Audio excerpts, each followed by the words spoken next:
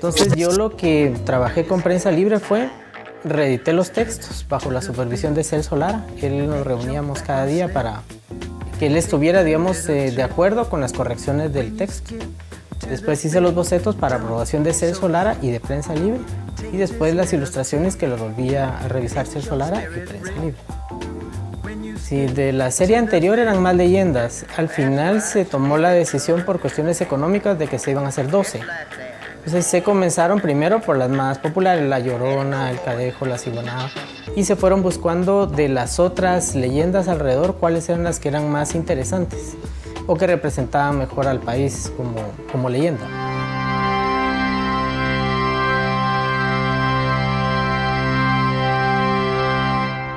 Son diferentes expresiones que hacen que de alguna manera a través del arte, a través del talento que muchas personas tienen, perduren las leyendas y vayamos pasándolas o sigamos haciéndolo de generación en generación a los nuevos chicos y que esto no se muera realmente. Y bueno, hoy que estamos hablando de las leyendas, ya tengo a, mis dos amigos que saben tanto de historia. Gracias, Carlos. Gracias, Mario, por estar con nosotros.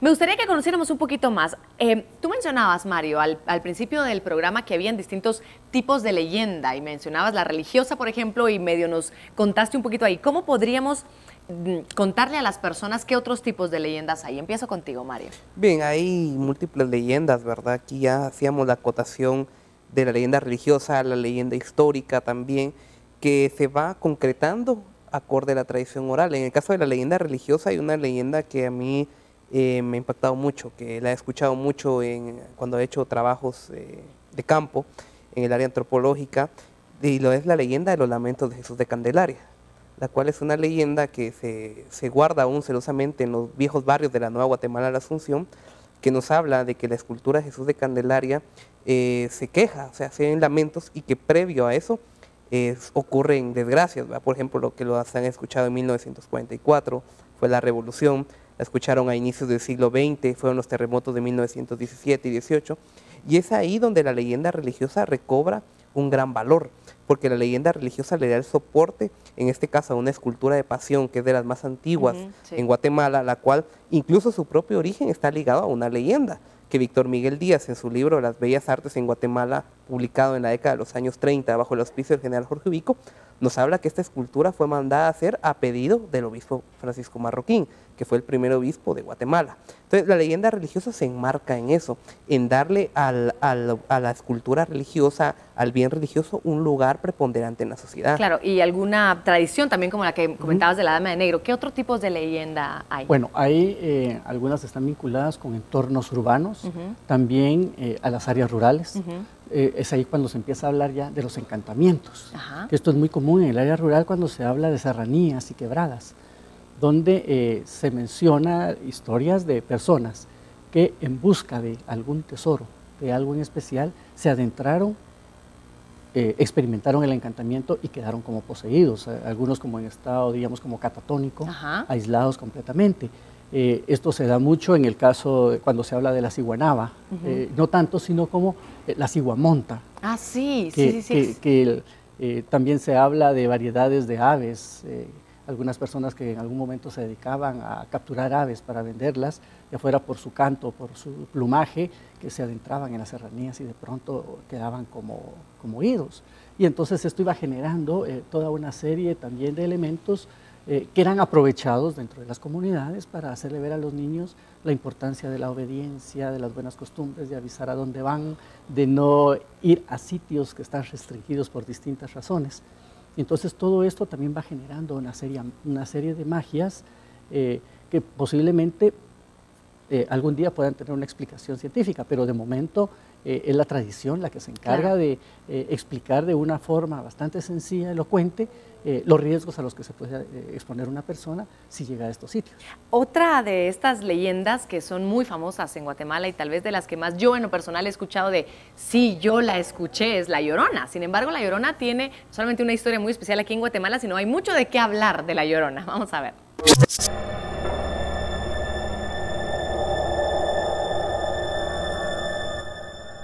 Saliendo yo de una clase de teatro en la Academia Dramática Antigüeña, a eso de las 10 de la noche, iba hacia mi casa por callejones oscuros.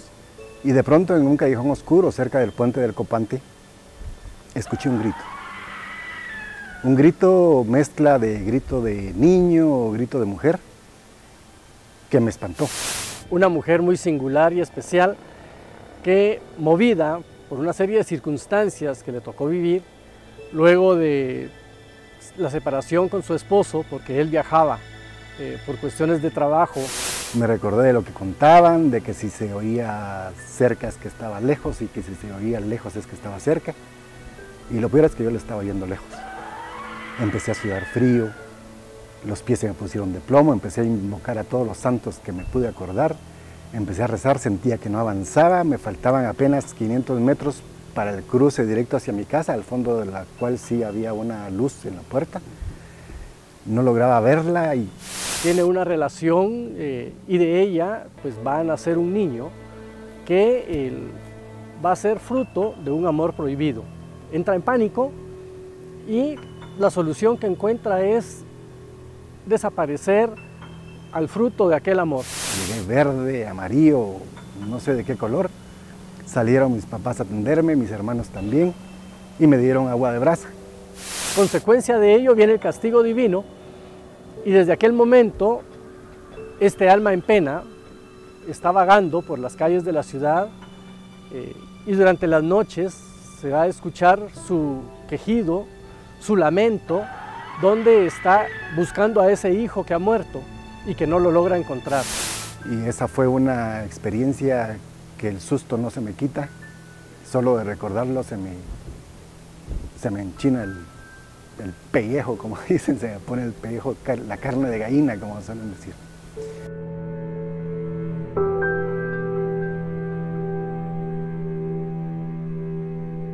Y claro, ya la Llorona no solamente se aparece en, un lugar específico en Antigua Guatemala, que sí tiene sus lugares predilectos, digamos, sin embargo también en, en, toda la República ya se cuenta, se sabe de la Llorona. Pero yo quisiera que nos enfocáramos y que comentemos un poco de ¿Por qué hay tantas lloronas por el mundo? Porque México tiene su llorona, en Sudamérica tengo entendido que hay, hay, varias lloronas también, Mario. Sí, lo que sucede en este caso, en el caso de la llorona en específico, ya en se han hecho estudios de que en los mismos eh, códices antiguos, ya los aztecas tenían eh, una, una, una deidad similar a la llorona, la cual era una deidad que se, cuando ellos oían en el antiguo Tenochtitlán los gritos de ella era porque algo iba a pasar. Y entonces, eh, incluso eh, Puerto Plata, que es uno de los conquistadores que acompaña a Hernán Cortés, eh, habla que los mismos naturales le, cuentan de que oyeron a esta deidad que gritaba en el lago Texcoco. Y posteriormente, al tiempo de que la escucharon, se da la llegada de, los españoles al Nuevo Mundo, en este caso a México. Y así es en América Latina que cada lugar le va dando su propio toque. Bien lo decía el señor cronista, eh, eh, se trata también de una moraleja, ¿verdad? Que, las personas entiendan y busquen en este caso de la llorona, pues también el no trasnochar, ¿verdad? Que era muy común. Y, y en Guatemala se da el caso de que la llorona, pues eh, su pecado es que se involucra con una persona extramaritalmente, ¿verdad? Entonces tiene un hijo y lo va a ahogar ya sea, eh, pues, aquí se habla en la Nueva Guatemala, Asunción, que ella vivía en el barrio San Sebastián, se traslada al río Las Vacas y ahí eh, ahoga al niño, ahí dice dónde está Juan de la Cruz, que así ah, supuestamente se llamaba el hijo, ¿verdad? Pero sería interesante pues escuchar eh, el punto de vista de la antigua, ¿verdad? ¿Dónde, dónde pernocta esta leyenda? A ver, ¿a dónde no tenemos que ir a medianoche? bueno, pues como, como bien explicaba, parte de su historia está asociada al elemento del agua. Sí. El agua, recordemos que es un elemento de purificación. Entonces, eh, dentro de esta historia trágica y la muerte del niño, pues el niño eh, es ahogado. Allá se plantea en, el río, en las aguas del río Pensativo.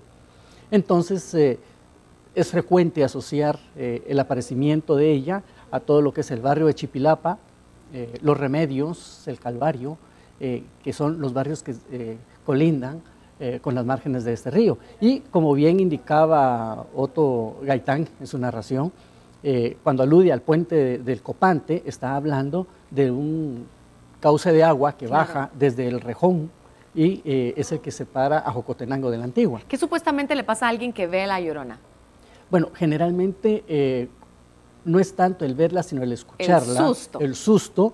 se habla que las personas empiezan a aparecer de fiebres, eh, y que eh, si no son tratadas convenientemente con esos eh, remedios tradicionales, como el agua de brasas. El agua de y brasas, demás, sí. Entonces se corre el peligro que la persona muera y su alma sea ganada Por la llorona. por la llorona. Qué ¿Por barbaridad. Porque ella anda buscando almas incautas para llenar ese vacío. De haber, de muerte- haber matado a su de hijo. haber matado al hijo. Eh, hay otras de las narraciones muy curiosas y lo más interesante es que ahora con la tecnología algunos se han dado la tarea de ver y de grabar algunos sonidos de la noche y vea lo que se encontró alrededor de la leyenda del carruaje de la muerte.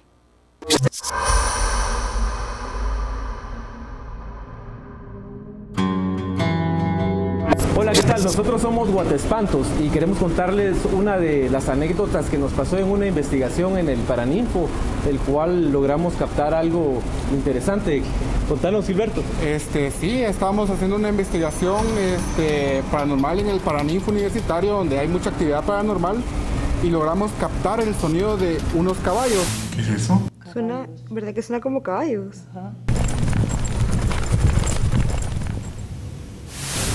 Que es imposible que en la zona 1 hayan caballos en estos tiempos.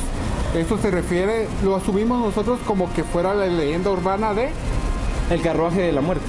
de Carraje de la Muerte. Entonces, este, escuchamos esos caballos, le tratamos de buscar explicación lógica, que podría ser este, carros pasando, pero los carros se escuchaban muy, muy diferentes a los sonidos del caballo.